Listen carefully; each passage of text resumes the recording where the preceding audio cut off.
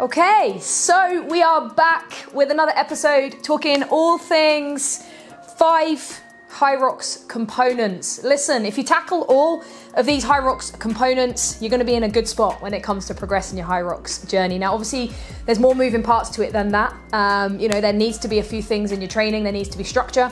There needs to be an element of periodization, progressive overload.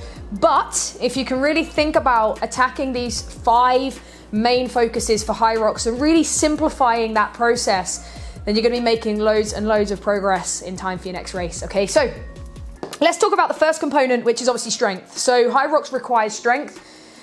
The sleds is probably the main strength element to Hyrox. So we need to be practicing and making sure that we are gaining enough strength. Okay, so you're probably wondering, well, okay, how do I attack the strength aspect of my training? So first and foremost, we want to be thinking about firstly entering ultimate strength. So, you know, your absolute strength is going to be your three by threes, you know, your three rep maxes. You want to be incorporating movements like back squats. You want to be incorporating movements such as hip thrusts, which are really going to obviously activate the posterior muscles that are going to support your sled pull. You want to be incorporating a lot of bench press, a lot of pulling movements as well, like bent over rows. You can always check out my Instagram. I'm always putting out workouts. Um, also, if you hit the link below, you'll also be able to actually get seven day free trial on my Hyrox Perform program, which could actually give you a little bit of an idea as to you know how to actually implement this stuff. So just one before I forget. Um, also, we want to be not just thinking about absolute strength. We want to be thinking about actually, okay, now let's put some of that strength in a compromised setting. So can we now actually put a little bit of aerobic work in there and actually pre-fatigue the strength? Okay, so actually, you know, a couple of 800 meters into back squats or 600 meters into bench press. So the heart rate's up, and then you're having to, you know, really, really deliver that strength component. Okay, and that's going to be very much more realistic to Hyrox. Um, and then obviously practicing the sleds. So I'm asked all the time, you know, how do I train for sleds? And yes, there are movements you can do to help with your sled work. Definitely things like Bulgarian split squats, uh, front rack uh, reverse lunges, those kind of single leg strength movements are going to really help with your sleds. But ultimately, you know, you can't ever train the sled as good as having a sled. So um, definitely try and, you know, get yourself a sled if you can. But you want to be training your sleds my biggest piece of advice, as any probably Hyrox coach will tell you, a Hyrox athlete will tell you, always train for heavier than competition weight. This is going to be a big piece of advice I'd give to anybody because there's so many people who just feel different because the carpet and different kind of, you know, movable um, dynamics to the race. So I would say always, always have at least one day a week in your strength training phase where you're actually gonna, you know, train heavier than Hyrox weight. Okay, so that ticks off strength. We want to be really incorporating. There's some movements put in there as well that you guys can can really kind of incorporate. Um, and then it moves on to point number two or component for Hyrox number two is skill set. Okay, so like any sport you know, it requires skill. Your wall balls require skill. Your burpees require skill.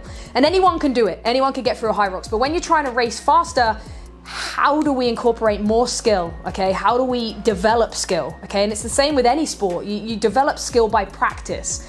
All right, so there's two real points to skill set and how you can imp- incorporate skill set as you move forward. Okay, number one is technique. So, how can I make this technique even better? Like, how can I perform this? Remember, there are movement standards in Hyrox as well. And if you're not hitting those standards, it could be, you know, game over on the wall balls if you're getting 10 no reps, because that, tell me about it. Where at the end of that race, it's a lot, it's a lot if you get no rep. Okay, so your technique and your efficiency, okay? They go hand in hand, really. Efficiency on burpees is gonna be your step in technique rather than jumping in at the bottom of your rep. That's gonna not allow the legs to fall into, you know, a really heavy fatigue state. It's gonna allow you efficiency as you move forward, for example, all right? Um, also, skill set related clusters, okay? So, can you break down your wall balls into 10 reps at a time rather than just getting there, doing 30 or 40 and then having to keep then stopping and having more and more recovery because you've kind of redlined that that set okay? So clusters and having some race strategy is all part of your skill set for Hyrox okay? So it's not just the individual movements it's actually you being skillful enough up here to know how you're going to attack that race and all the strategy around it okay? Um, three more things. Number one, sorry, number three is mixed model strength endurance. Okay, so you got you got essentially mixed model is combination of everything. Okay, um, so combination strategy is incorporating runs as well as your rowing, as well as your skiing, as well as your lunges, as well as your burpees, as well as everything. So combination doesn't always have to mean Hyrox movements, by the way. Okay, so for example, we help a lot of our Hyrox athletes to understand that actually if they train thrusters in a heavy setting, mixed in with running, etc., the wall balls, when it gets to a six kilo ball, is going to feel like a piece of air. I'm lying, by the way. But anyway, all right, so combination is combining your, your strength endurance movements, you know, high repetition volumes. But like I said, it could be thrusters instead of wall balls. It could be, I don't know, um, you know, box jumps instead of burpees. Like lots of different movements you can do that aren't just Hyrox related that are still going to give you the same stimulus, okay? Um, and high rep volume is a big key here thing, all right? So apart from the sleds, most of high Hyrox is going to be high rep volume. Your lunges are a high rep volume, your burpees are high rep volume, and your wall balls. So be practicing high repetition volume in these strength endurance sessions. Um, you know, you can keep a lot of it to body weight because obviously, you know, there is a lot of high Hyrox that is your burpees, etc. Your wall balls aren't necessarily heavy, but body weight is a good start point when you're doing a lot of strength endurance, okay? Um, Point number four is your aerobic endurance. Okay, so very different to strength endurance. Your aerobic endurance is going to be like your rowing, your skiing, your running intervals, maybe what I call cyclical as well. So, like, you know, it could look like 1,000 meter row, 1,000 meter ski, 2k run, and they could do that twice through. And it's basically just aerobic endurance is just zone two, zone three, steady state, just building that endurance base. So when you get to the last third of that race, you know you've you've you've got a, an advantage on those guys who maybe haven't been doing a lot of endurance based building and then they're tailing off at 40 minutes okay and then the last one First, this probably should have been up here as the top one, okay, is your running, okay? So I've done another YouTube on this, so you can find inside of my YouTube, I've actually done a full Hyrox uh, running uh, episode.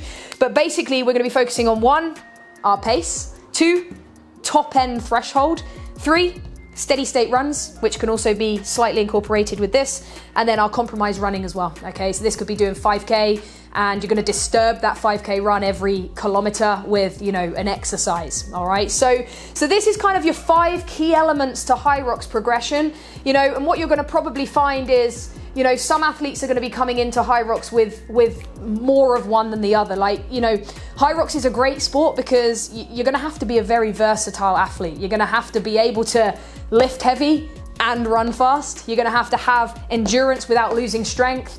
And this is where I think sometimes having a, a structured training plan where you know that you can still continue to build strength while also maintaining a good level of endurance is going to be important because they're they have a bit of an, an, inverse relationship. So when usually if we don't follow a process and we do a lot of strength, we can lose our aerobic capacity. If we build our aerobic capacity, we can lose a lot of our strength. Okay, so the fine line in Hyrox is finding an expert essentially that can probably help you um, to navigate that the best I'm going to be doing a lot more episodes on how you can actually build your training phases off the back of this, um, which should help. But for now, just know that as long as you are attacking a few of these with some examples here, um, you're going to be absolutely great and you're going to be getting a little bit faster for sure. All right, so I'll catch you in the next episode. As always, hit subscribe and I'd love to hear from you if you found this of interest. Again, from me to you with love. Take care.